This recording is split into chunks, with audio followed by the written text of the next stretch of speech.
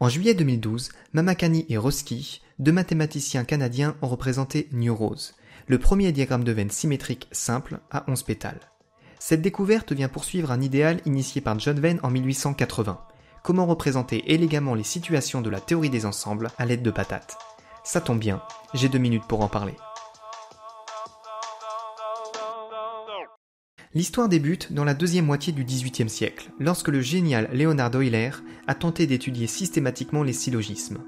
Un syllogisme, c'est un raisonnement logique en trois temps, du style tous les Pokémon électriques peuvent apprendre l'attaque tonnerre, or certains Pokémon électriques sont aussi de type vol, donc certains Pokémon de type vol peuvent apprendre l'attaque tonnerre. Pour étudier ces syllogismes, Euler a eu l'idée brillante d'utiliser des cercles, et quand bien même l'idée ne serait pas réellement de Euler, elle n'en reste pas moins brillante. Chaque cercle correspond à l'un des ensembles de l'énoncé. Dans l'exemple précédent, on a le cercle des Pokémon électriques, le cercle des Pokémon apprenant l'attaque tonnerre et le cercle des Pokémon de type vol. Si un élément est à l'intérieur d'un cercle, c'est qu'il appartient à l'ensemble et réciproquement. La première hypothèse, qui énonce que tout Pokémon électrique apprend l'attaque tonnerre, se traduit par deux cercles imbriqués. La deuxième hypothèse, qui nous dit qu'il existe des Pokémon à la fois de type électrique et vol, se traduit par deux cercles qui se coupent. On constate alors que le cercle des Pokémon de type vol et celui des Pokémon qui apprennent tonnerre se coupent, ce qui explique la conclusion. Certains Pokémon de type vol apprennent bien l'attaque tonnerre. Bref, les diagrammes d'Euler permettent de représenter des syllogismes avec trois cercles qui se coupent ou pas. Cent ans plus tard, le logicien John Venn met un coup de pied dans la fourmilière et réinvente complètement l'idée d'Euler. La première évolution, c'est que les ensembles ne seront plus forcément représentés par des cercles, mais pourront prendre n'importe quelle forme patatoïde.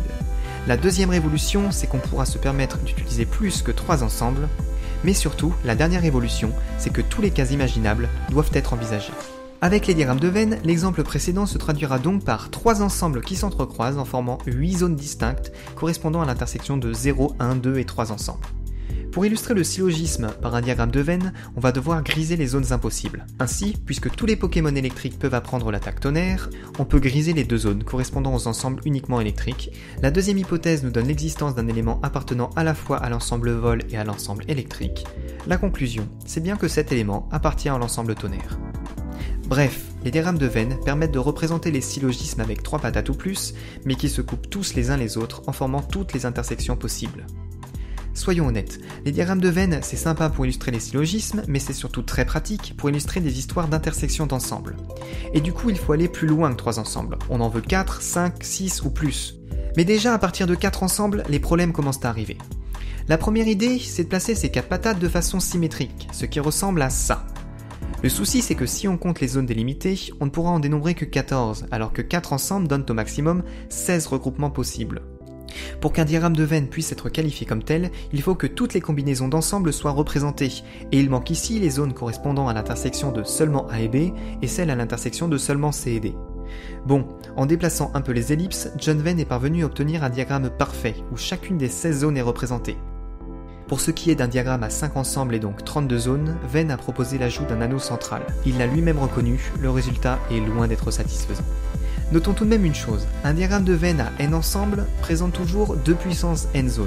On peut voir ça sur l'exemple du diagramme de Venn à 5 ensembles, qui contient une zone extérieure, 5 zones appartenant qu'à un ensemble, 10 zones appartenant à deux ensembles, 10 appartenant à 3, 5 appartenant à 4 et une dernière appartenant à tous les ensembles. On a bien 2 puissance 5, c'est-à-dire 32 zones. Il existe pourtant des méthodes pour construire des diagrammes de Venn avec autant d'ensembles que l'on veut. La première méthode est un peu braque. On part d'un diagramme à trois ensembles et on y trace un chemin qui entre et sort une fois de chacune des zones alors délimitées. En procédant ainsi, on délimite un nouvel ensemble, ce qui donne bien un diagramme de Venn avec quatre ensembles. On peut alors tracer un chemin qui passe par chacune des 16 zones et on obtient un diagramme de Venn avec 5 ensembles. Ce n'est d'ailleurs que depuis avril 2015 que l'on a démontré que la méthode fonctionne toujours, mais elle fournit vraiment ce qu'il y a de pire en termes de diagramme de Venn. On doit sinon à Anthony Edward une autre méthode particulièrement esthétique pour construire des diagrammes de veine, en partant de deux droites perpendiculaires et d'un cercle, ce qui forme alors un diagramme de veine à trois ensembles. Ensuite, on fabrique chaque nouvel ensemble en faisant serpenter une courbe de part et d'autre du cercle central. Cette méthode fabriquera des diagrammes de veine avec autant d'ensembles que l'on veut. Il manque un petit quelque chose à toutes ces constructions, et ce petit quelque chose, c'est que tous les ensembles ne sont pas équivalents. Ce qu'il faudrait, c'est qu'ils soient tous identiques, mais surtout qu'ils présentent davantage de symétrie en se regroupant en formant une fleur. On peut fabriquer des fleurs de veine avec deux pétales, avec trois ou même avec cinq. Pourquoi ça ne marcherait pas avec davantage? On dit alors que ces diagrammes sont symétriques. Chaque pétale se déduit des autres à partir d'une même rotation. Il existe d'ailleurs des diagrammes symétriques à 7 pétales, comme par exemple celui obtenu à partir de cet ensemble-là, répété 7 fois par rotation. Ce sont ces diagrammes-là, les symétriques, qui sont à mon humble avis les plus beaux. Et des diagrammes de veines symétriques à 4 ou 6 pétales alors On en a trouvé?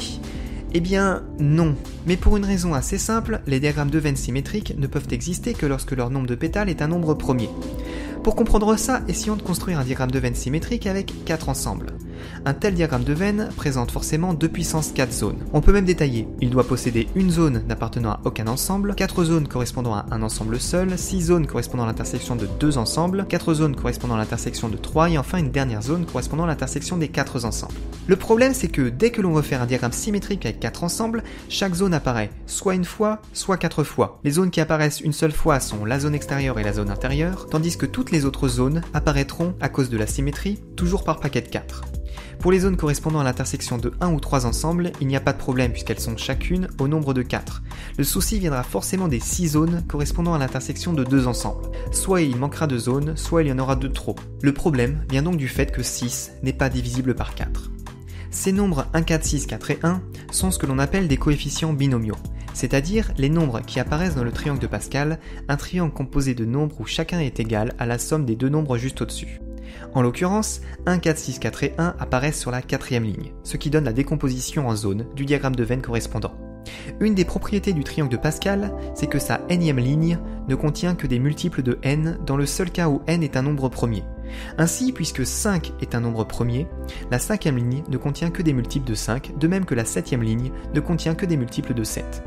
Cette condition est nécessaire à l'existence de diagrammes de veine symétriques, ce qui explique l'existence de ces diagrammes avec 5 ou 7 ensemble. Par contre, la quatrième, la sixième ou la huitième ligne contient des nombres non multiples de 4, 6 ou 8. Il est donc parfaitement inutile d'espérer pouvoir construire de beaux diagrammes de veine avec 4, 6 ou 8 ensemble.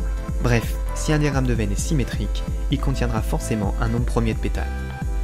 Rien ne dit cependant comment on peut les construire. Ce n'est d'ailleurs qu'en 1992 que le premier diagramme symétrique à 7 pétales a été découvert par Branko Grönbaum, qui a d'ailleurs longtemps pensé qu'il n'existait pas. Aujourd'hui cependant on en connaît beaucoup plus. Pour 11 ensembles, ça se complique encore.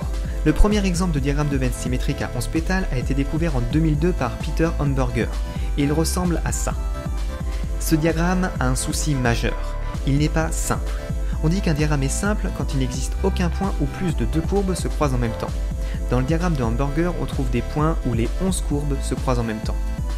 Existe-t-il un diagramme symétrique simple à 11 ensembles? Eh bien, oui, mais il a fallu attendre juillet 2012 pour le voir arriver, grâce à Kelif Mamakani et Frank Rusky. Le résultat est superbe, mais il ouvre évidemment une nouvelle question. Existe-t-il un diagramme de veine symétrique et simple avec 13 ensembles? Plusieurs mathématiciens sont à sa recherche, mais la question demeure aujourd'hui toujours ouverte.